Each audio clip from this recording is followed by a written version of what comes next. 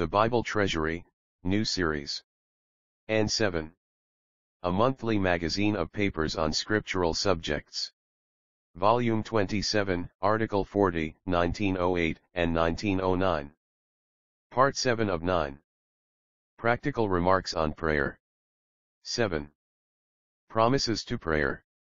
The promises to prayer, of which the following are some of the more prominent, are, in general, dependent on specified conditions. 1.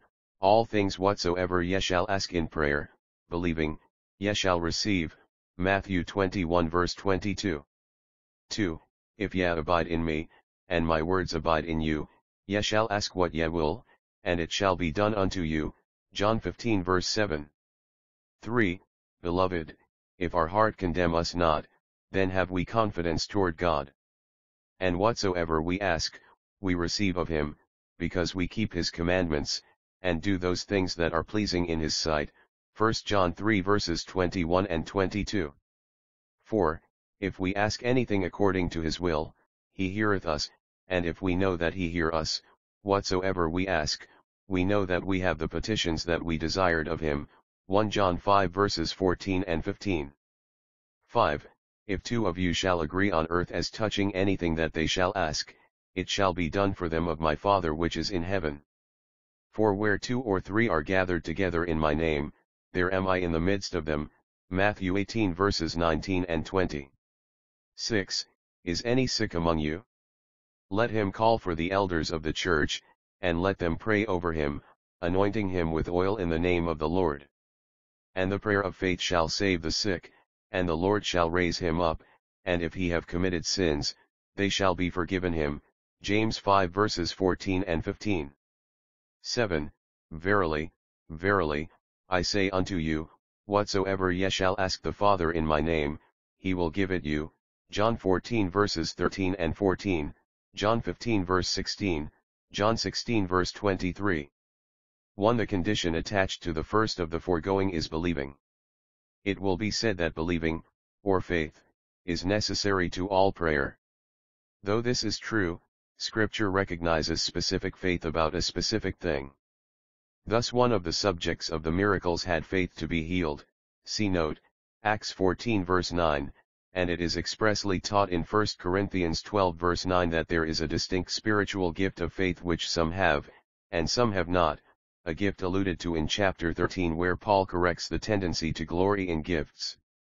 Though I have all faith so that I could remove mountains, and have not love, I am nothing, 1 Corinthians 13 verse 2. It is perhaps to this special character of faith that the Lord refers when he says, What things soever ye desire, when ye pray, believe that ye receive them, and ye shall have them, Mark 11 verse 24.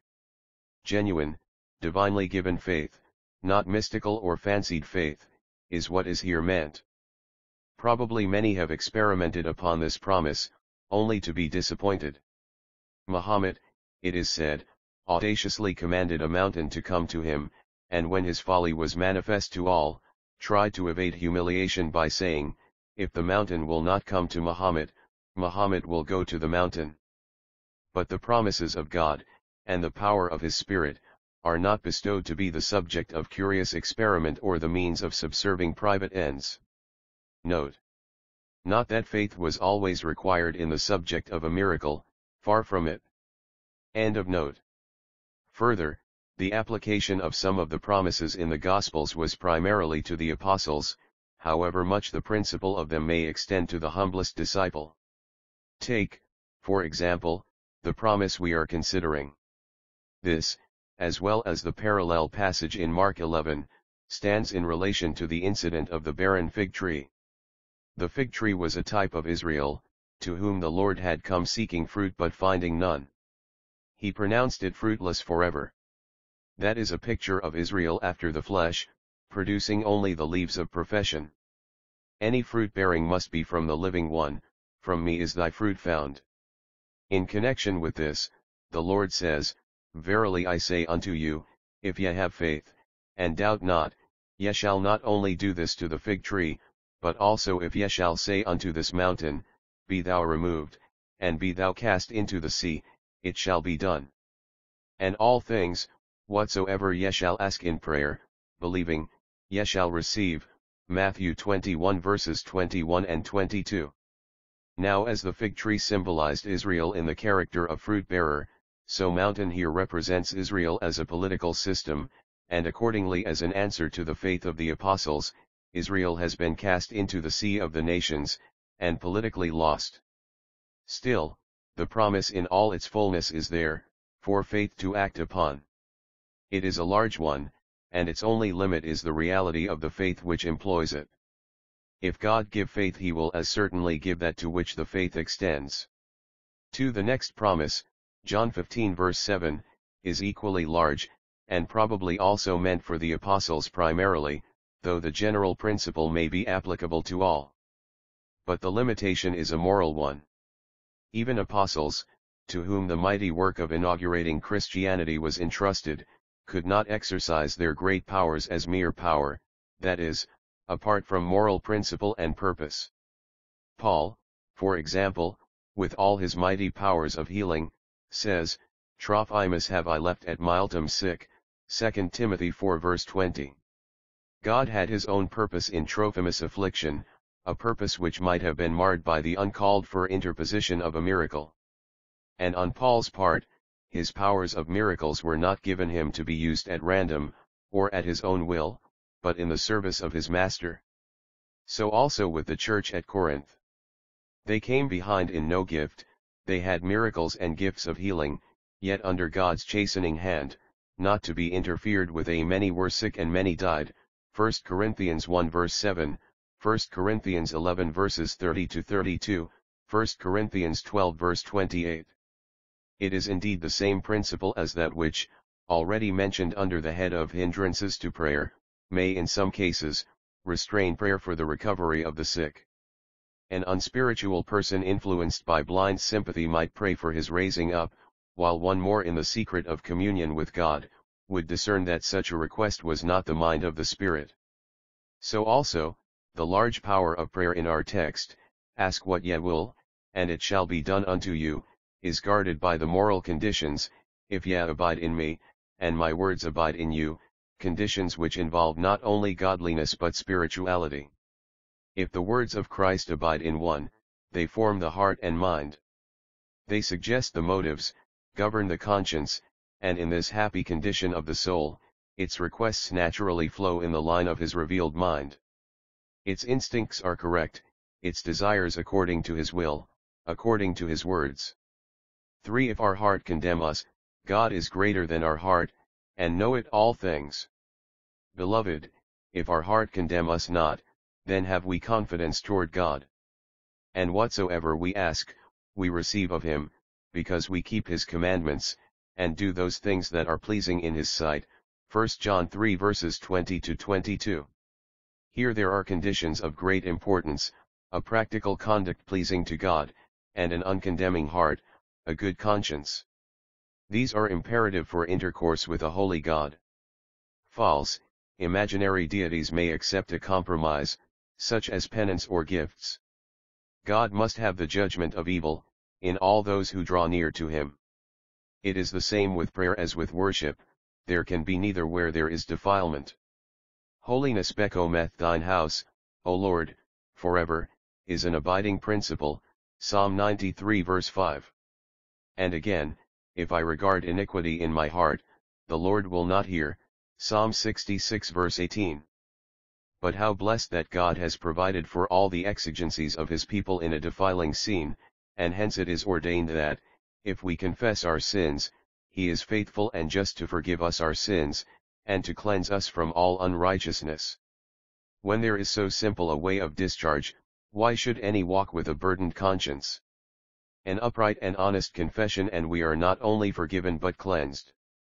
As Elihu says of the soul that has been brought to the moral judgment of itself, he shall pray unto God, and he will be favorable unto him, and he shall see his face with joy. His flesh shall be fresher than a child, and he shall return to the days of his youth. Job 33 verses 25 and 26. The importance of this good conscience in connection with prayer is shown by the fact that scripture links it even with asking the prayers of others, pray for us, for we trust we have a good conscience, in all things willing to live honestly, Hebrews 13 verse 18. The prayer of the upright is indeed the Lord's delight, Proverbs 15 verse 8, and it is the prayer of the righteous, in James 5 verse 16, that is said to have much power. Our text, however, though equivalent to a promise, is not exactly so in form. It is rather a positive statement that, given certain conditions, we do receive whatsoever we ask, and the conditions show very plainly that success in prayer depends upon a godly life, an uncondemning heart as an inward state, and obedience, keep his commandments, as an outward manifestation and test of the state. But in the verses which precede, there are some interesting points to notice, my little children, let us not love in word, neither in tongue, but in deed and in truth. And hereby we know that we are of the truth, and shall assure our hearts before him, verses 18 and 19. First, knowing that we are of the truth, in verse 19, does not mean knowing that we are Christians, which has been taken to be the sense, for the persons addressed were written to because they were Christians, because they knew the Father, because their sins were forgiven them for his name's sake, 1 John 2 verses 12 and 13. But, being exhorted to love not in word, neither in tongue, but in deed and in truth, the apostle adds, hereby we know that we are of the truth. That is, that we are actually walking in the truth, that we are possessed by, we are of the truth. Love indeed and love in truth gives us this consciousness and assurance of heart before God. We cannot enjoy it otherwise.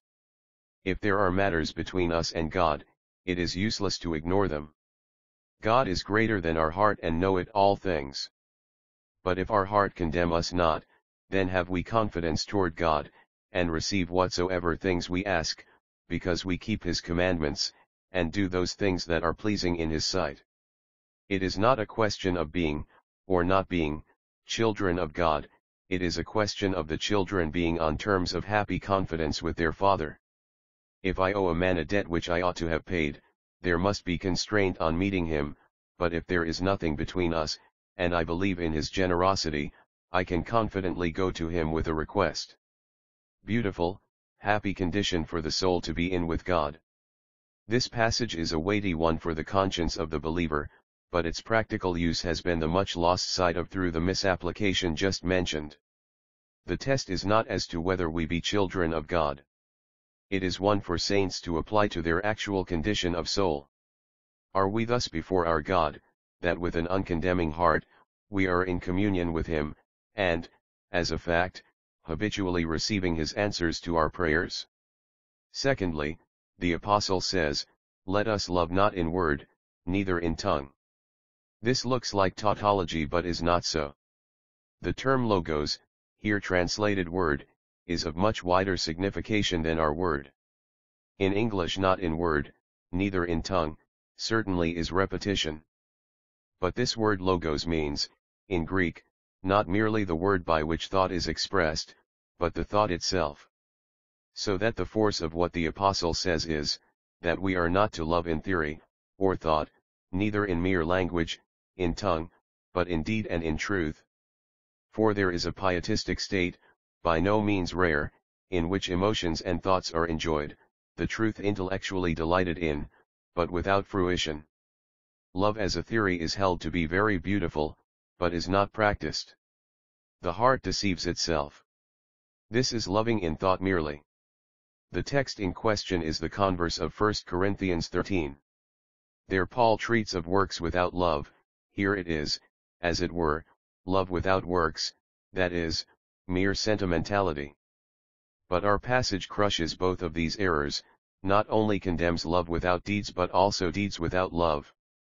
It requires deeds, but the deeds must be from love, that is, not in theory, nor in talk, but in acts and in truth. Our God is love, and that alone will satisfy him in his children, love in deed and in truth. How penetrating is the word of God, exposing every mode in which the heart would either deceive itself or deceive others. It is sharper than a two-edged sword, laying bare the thoughts and intents of the heart. Many, in reading these verses, have supposed that the language was mere repetition, that it is not so only shows the wisdom which underlies every word of inspiration. And this is the confidence that we have in him, that if we ask anything according to his will, he heareth us, and if we know that he hear us, whatsoever we ask, we know that we have the petitions that we desire of him, 1 John 5 verses 14 and 15. We have already seen that the formative power in the heart, of the words of Christ dwelling there, and an upright uncondemning heart with confidence in God, are the conditions of successful prayer. In the present verses, all that is assumed. It is supposed that we are asking according to his will, and what we have here is that, so asking, God always hears us. He is not like man, often occupied so that he cannot listen, or careless so that he will not. See note. It is a precious and wonderful thing for the creature, man, notwithstanding the fall, to be so restored to moral harmony with God as to be able, under the guidance of the Spirit, to ask according to his omniscient will. We do not read that angels have this privilege, they indeed do his commandments, hearkening unto the voice of his word, Psalm 103 verse 20, but the intimacy with God which prayer affords is, apparently, conferred upon man only.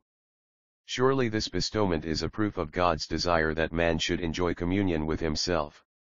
Do we prize this privilege as we should? Note. JND Synopsis, Volume 5. On 1 John 5. End of note. But our spirits are not always up to this level, and we have already seen that Romans 8 verses 26 to 28 recognizes this case. We know not what we should pray for as we ought, but the Spirit helpeth our infirmities. And he who searches our hearts knows how to take up all that is of his own Spirit in those hearts. As to the result, we know that all things work together for good to them that love God.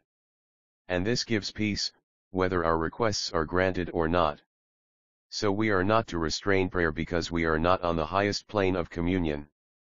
On the contrary, it is our privilege, in everything, to let our requests be made known unto God, Philippians 4 verse 6. An instructive example of this is Paul's prayer about the thorn in the flesh, 2 Corinthians 12 verses 8 and 9. For this thing, he besought the Lord that it might depart from him. But his prayer was not in the intelligence of God's mind, who had a better thing in store for Paul, which Paul would have lost had his request been granted. The believer may indeed, as a chastisement, receive that which in unbrokenness he clamors for, but the result will not be happiness, as we read, he gave them their request, but sent leanness into their soul, Psalm 106 verse 15. To present our requests, with submission, is, however, always our privilege. The example of Paul shows this. He besought the Lord for his desire not once only, but thrice. In result, such submission was wrought in his soul that ultimately he took pleasure in the very infirmities of which he had implored the removal. A discontented and unsubject heart may reproach God with not answering its prayers, but in the retrospect of eternity, how much cause for praise may be discovered in the requests which our gracious God now refuses to grant. So far from restraining prayer, we really need more frankness with God. Scripture amply warrants this, and it is illustrated by the case of good Ananias, Acts 9 verses 10 to 17. The Lord sends him to Saul of Tarsus to receive him after his conversion. But Ananias has a difficulty in his mind, and with beautiful simplicity and reverence, he lays it before the Lord. Then Ananias answered, Lord, I have heard by many of this man, how much evil he hath done to thy saints at Jerusalem, and here he hath authority from the chief priests to bind all that call on thy name. But the Lord said unto him, Go thy way, for he is a chosen vessel unto me, to bear my name before the Gentiles and kings and the children of Israel. And Ananias went his way. The Lord, it will be observed, does not in the least reprove Ananias, and the incident left on record thus surely gives encouragement to us to tell the Lord with reverential intimacy about all our difficulties. Indeed this episode, and that of Paul in 2 Corinthians 12, previously referred to, are strikingly similar as precedents for freeness, yet reverence, of communion, and withal of perfect submission. The two instances are remarkably alike in tone and spirit. In Philippians, we are authorized to bring all our requests to God. Be careful for nothing, but in everything by prayer and supplication with thanksgiving let your requests be made known unto God. And the peace of God, which passeth all understanding, shall keep your hearts and minds through Christ Jesus, Philippians 4 verses 6 and 7. But here it is noticeable that the promise is not, as in 1 John 3:22, that we receive whatsoever we ask. But, having laid our requests with submission before him, his peace keeping our hearts and minds, is the present effect. As to the requests, if he do not grant them, it is because he has for us something better. His child should not wish what is contrary to his will. But there is a higher example than Paul, even Jesus in Gethsemane. Not indeed, as so often in our own case, a prayer below the highest level, for even in that dark hour his communion was perfect, but here, as man, he lays the incomparable exercises of his heart before God, mentioning something which he would desire if only compatible with the divine will. Spreading out the agony of his soul in prayer, he exclaims, O my Father, if it be possible, let this cup pass from me, nevertheless, not as I will, but as thou wilt, Matthew 26 verse 39. Here is perfection a alike in his communion as a man with the Father about the appalling prospect before him, and also, notwithstanding the prospect, in the absolute surrender of himself to the Father's will, the Father's purpose. Yet, we need more frankness and confidence in our communion with God. Yet people, pour out your heart before him, God is a refuge for us, Psalm 62 verse 8. 5. The promise in Matthew 18 verse 19 is peculiar, it is to united prayer. The essence of this promise lies in the assured presence of the Lord himself with only two gathered in his name. The agreement in prayer of such a gathering is promised to be acceded to by the Father. But we have already looked at this in previous pages. The promises in John 14, 16 are to prayers in Christ's name and may be realized by the individual in his closet. The promise here, however, is to the concurrence in prayer of even only two gathered together in his name. 6. Prayer in James presents the most interesting features. First, there is the encouragement to prayer which the Holy Spirit addresses to our hearts by reminding us that Elias who wrought so wondrously was a man of like passions to ourselves, as if to say, there is an example for you, see what is open to you. Secondly, James, by the Holy Spirit, makes a positive revelation of facts in Elijah's history, which otherwise we should not have known. The historical books give us the outward acts of Elijah, James reveals the process which brought them about. Elijah's first introduction to us is in 1 Kings 17 verse 1, where the great drama of his exploits is opened with the simple statement that he said unto Ahab, As the Lord God of Israel liveth before whom I stand, there shall not be dew nor rain these years, but according to my word. This is the first mention of Elijah. Nothing is said of him but that he was a Tishbite of Gilead. Who he was, how it happened that this person with no official authority, no locus standi should thrust himself into the presence of the king, and make such a dread announcement, the history does not say. But there is a great underlying principle. It is that when the official representation of God is false, God's Spirit will raise up a witness from outside. It is ever so. When the enemy shall come in like a flood, the Spirit of the Lord shall lift up a standard against him, Isaiah 59 verse 19. And there is nothing in which God's sovereignty is more displayed than in the instruments he chooses. When the civil rule is apostate, and 800 false prophets are allowed in the land, he will act by whom he will. Now James reveals the secret of Elijah's surprising action. That secret was communion with God. Elias was a man subject to like passions as we are, and he prayed earnestly that it might not rain, and it rained not on the earth by the space of three years and six months. And he prayed again, and the heaven gave rain, and the earth brought forth her fruit, James 5 verses 17 and 18. Thus the Old Testament gives us the magnificent public action, James, the prayer on which it was based. This secret dealing of God with his servants is his constant way. David slays the lion and the bear, making experience of the power of God where no one sees him, ere he wields the weapon of faith before the armies of Israel. Moses, a learned man, has with all that weight of learning, to pass forty years keeping a flock in the desert before he is used to face Pharaoh and deliver Israel. And Elijah's proceedings, which read like the intrepid actings of a hero, are shown to be the product of prayer, and when afterwards his communion falls in its level, he is discovered as a man of like passions with ourselves, for the prophet who could boldly confront the majesty of the king flees for his life at the threat of the king's wife. This shows that it is only as sustained by God that we can act for him. Without me, ye can do nothing. Thirdly, the example of Elijah is given by James as both illustration and proof of a general principle, namely, that the effectual fervent prayer of a righteous man availeth much, James 5 verse 16. But this translation is admitted to be unsatisfactory. That a prayer which is effectual avails much is a truism.